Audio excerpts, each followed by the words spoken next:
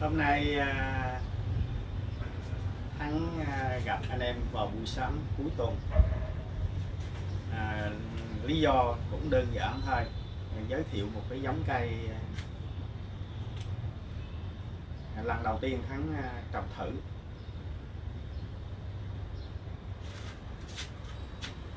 Này mặt chính mặt mà thắng chọn cây mà mặt mà thắng thích nhất nó là mặt thắng cái mặt cây này thắng thích thôi.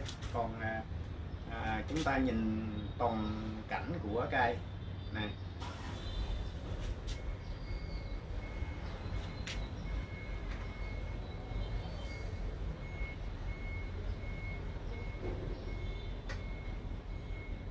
Như vậy là cái cây này à, nếu mà nhìn cho kỹ chúng ta sẽ thấy là cái phần gốc nó ở có một bên thôi nhưng cái à, mặt lũa của nó này, nó lại ở bên này. Như vậy nếu mà chúng ta quan sát như thế này, chúng ta sẽ thấy rằng coi như cái cây này ngày xưa là cái mặt này nó lên hướng thiên cái hướng lên trên đó khi mua thì tháng cũng thấy như vậy. Nhưng mà nếu chúng ta quan sát thật kỹ thì chúng ta thấy là coi như cái điểm mà gây ấn tượng nhất của cái cây này là cái phần lũa này. Chính cái phần lũa này nó làm hút hồn mọi người nhìn vào cái cây này. Nên à, thắng à, chọn nó và anh em mình quan sát cái lá của nó này. Quan sát gần một xíu nha. Đây. Đó chúng ta sẽ thấy cái lá của nó. Cái màu lá của nó rất là đẹp.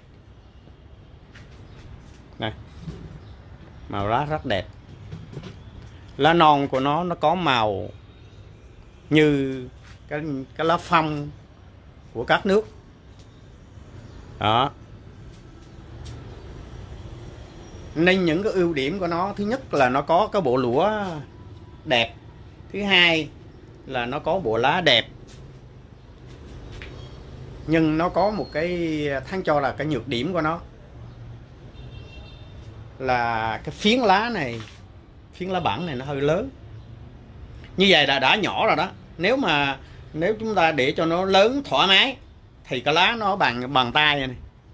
Nên khi mà tháng mua cái này ở ờ, Long Khánh á, để coi thử ở ờ, ở Trắng Bơm có một đợt đi giao lưu với Trắng Bơm thì ờ, Ờ, chợ phiên ở Trắng Bơm bán là tháng ờ, mua. Thì như vậy là cái phiến lá của nó là bằng bằng tay. Nhưng mà anh em ở ờ, Trắng Bơm họ đã bảo là cây này gọi là cây sa hoàng. Tháng về thằng thấy cái cái lá nó bự quá. Nên thắng đổi cái tên. Thắng nó là sa bàn tức là cái lá bằng bàn tay. Nhưng mà nhìn cho kỹ cái cây này, so với cái cây ờ, lá tra, cây tra của mình á.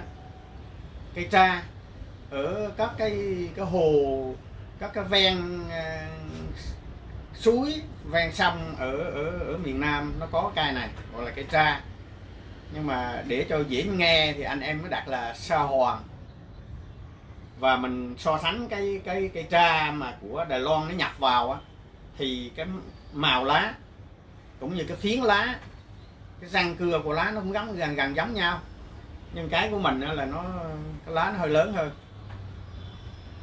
Nhưng mà cây nội địa mà giá nó cũng ờ, dễ chịu. Thành thử là chúng ta vẫn cứ chơi được. Đó là một trong những cái loại những cái loại cây mà, mà, mà bản địa mình.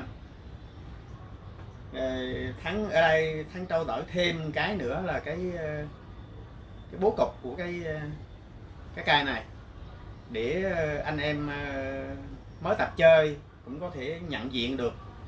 À, nếu những cái gió mà nó như thế này thì chúng ta vẫn cứ sử dụng được. Và chúng ta có thể tạo được những cái cây bonsai mà nó không hoàn mỹ lắm. Nhưng có những cái điểm nét mà gây ấn tượng. Thì cái điểm mà ấn tượng nhất của cây này là cái cái đường, đường gãy này. Đây anh em mình thấy cái đường gãy này đó gặp mình ôm qua bên này. Như vậy thì khi mình mình mình gặp được cái cây này á thì cái chỗ này là mình mình chọn ngay. Nhưng ở cái phần rễ của nó đây phần đế của nó này, bị xúc có những cái từ có những cái có một cái rễ từ trên này nó đưa xuống. Bởi vì ngày xưa là cái mặt cái mặt này là cái mặt nằm dưới đất. Còn cái mặt bên này á, là cái mặt lên trên trên trời. Mình thử ra là về tháng cắt dựng lại. Thì như vậy là cái cây này rõ ràng là cái bộ đế này nó không đủ vững chãi để cho nó chịu lực cái phần ngọn đưa qua bên đây. Thử. Để cho cây đứng vững, thì chúng ta tạo được một cái điểm tựa giả đó là cái viên đá này. Chính cái viên đá này nó chặn cái cái độ nghiêng của cây làm cho cây khỏi bị ngã là nhờ cái điểm tựa này. Rồi sau đó mình phải ờ, nuôi những cái đĩa này sao hoặc là hoặc là chúng ta sẽ cắt những cái đĩa này. Thấy không? đĩa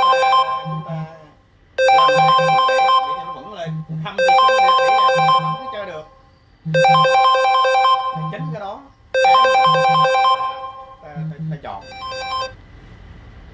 và cái mặt chính của cây là chúng ta khi mà chúng ta xây dựng cái tàn này nè tới đây là nó hết nè thắng cắt á.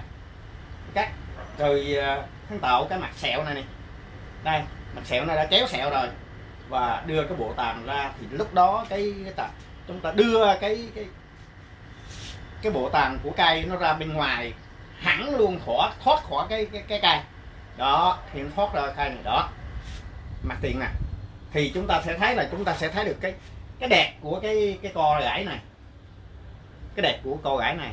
Và cái bộ đồ toàn à, bộ tàn nó thoát ra ngoài. Chúng chúng ta nhìn được bộ tàn. Và ở trong cái điều kiện này ấy, thì theo thắng nghĩ là tất cả các cái điểm thẳng của rễ thẳng của thanh này, thì cái phần tàn này thắng không bẻ 3D như những cái cây khác, hoặc là không bỏ lắc gì hết, thắng chỉ cắt giặt hoàn toàn không không dùng kẽm. Đây, anh em mình nhìn này thắng hoàn toàn không dùng kẽm. Đó.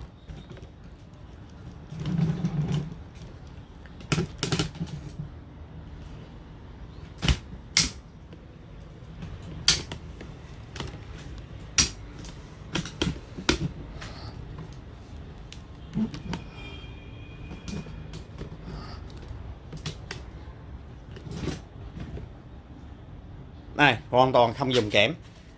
Nuôi đây, nó có nhiều nhiều điểm. Thì thang tới đây thằng cắt giặt. Đây cắt giặt cái điểm này. Xong rồi đưa ra đây ra đây thì cũng bắt đầu nuôi tiếp. Thì cái điểm này thằng cũng cắt này bây giờ thì giặt nó lên đây một cái nữa, tức là hai điểm. Xong đó là những cái chi này là thắng nuôi ra và cắt cắt dắt đoạn hết. Đó. Cuối cùng, nó sẽ phù hợp với cái những cái sẹo trên cái cái cái cái cái, cái thân này. Đây những cái vết sẹo ở trên thân này thì nó sẽ có những cái vết sẹo ở trên cái cành này. Nó làm cho cái cây già hơn già dặn hơn. Và nếu chúng ta nhìn thì nó có sự có những cái sự tương đồng giữa thân phải không? Và chi cành. Thì nó sẽ làm cho chúng ta à, nhìn nó, nó thích nghi hơn nó phù hợp với cái cái dáng của cài. Đó. Này.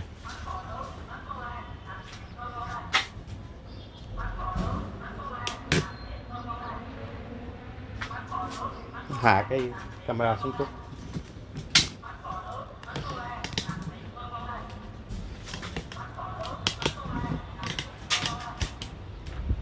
À, để có đồ hở của cái cái cái chị đó.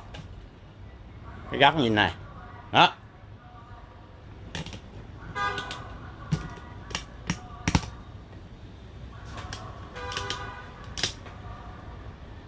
đó. Thì lúc đó mình sẽ thấy cái cái độ hở này, cái độ hở giữa cái chậu với lại cái cái bộ, cái cái bộ chi này, bộ tàn này. Đó. Đây. Cái chỗ này. Cái chỗ độ hở này. Đó. Và nhìn thấy cái viên đá này, thì cái trọng lực của cây nó đổ về phía bên này, nhưng mà cái này nó giữ lại. Và ở trong trường hợp này chúng ta chọn chúng ta dùng chậu mỏng có thể mỏng hơn cũng được. Nhưng mà tháng chưa có cái chậu để thay, có thể mỏng hơn hoặc là nhỏ hơn cái này một xíu nữa. Phải không? Đó. Rồi khi nó vững rồi thì bây giờ mình thấy rõ ràng là ngày xưa nó nó tựa vô cái đây nên thử ra tháng ấy. Còn nếu mà chúng ta đưa cái này qua đây chút nữa thì cũng được. Đưa qua này, nhổ đưa cái này qua đây qua góc qua đây để cái cái phần tầm này nó đưa ra ngoài thì nó sẽ đẹp hơn. Đó thì cái cái tạo hình của cái tổng thể cây nó là như vậy. À, để thêm một số kiến thức về cái cây mới mà anh em à, có thể là một số anh em chưa biết hoặc là à, cái à, xây dựng cái tổng thể cũng như là cái cái cách nhìn nhận có những cái cây mà nó có cái dáng à, tương đối lạ. À, bởi vì à, cũng có một số anh em đề nghị thắng là nên trao đổi những cái ờ, giống cây mới. Chứ bây giờ cứ quằn tới quằn lui hoài lên sam không à Thấy không? Thì đây cũng là một trong những cây. Và những ngày những ngày tháng tiếp theo thắng sẽ giới thiệu cho một anh em mình số cây à, mới và cái cách nuôi của nó. Đối với cây này nuôi rất là dễ. Nó khỏe lắm nè. À, và nó rất là mau lớn. Cái này hình như mua hình như cũng bốn năm à thì cái cái cái cái cái cái bộ tàng này là cái cây này là tháng nuôi cũng 4 năm. Giá mua lúc đó là như là 3 triệu hai này. Cả mấy chậu còn cứ ừ, triệu bạc nữa. Là 4 triệu. Thì chúng ta có thể có được cái cây để chúng ta chơi. Nằm trong khả năng kinh tế của mình.